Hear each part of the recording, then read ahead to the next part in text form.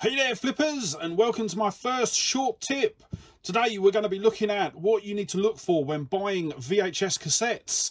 So the first thing you need to look at is the quality of the case. So with this one we've got chips on the case, some damage to the cover art, but then when we open it up the actual cassette itself is really good. Then we've got this one which the actual case itself is in relatively good condition.